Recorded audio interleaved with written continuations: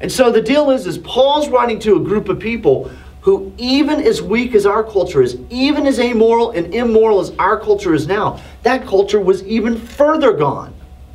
Because these people that we're going to hear from and, and, and hear the message that Paul sent to these people, they were living in a culture where, where sexuality outside of marriage was a part of a religious service. Can you imagine that? Where it was okay to have sex with somebody who wasn't your, your partner and your, and your, your mate, and, um, and where it was okay to do X, Y, and Z things.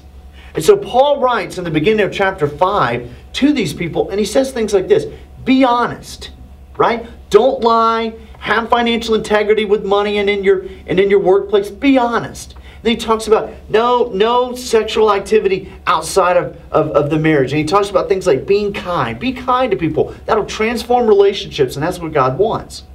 And so he said all these things to these people, and yet these people are living in a culture much like us that is very immoral, very amoral, and the Ephesians would say back to Paul, Paul, how can you say this? Because here's the deal I can go with you. I, I, can agree with you. I can shake my head. Yes, yes, I need to be honest. That's a good thing.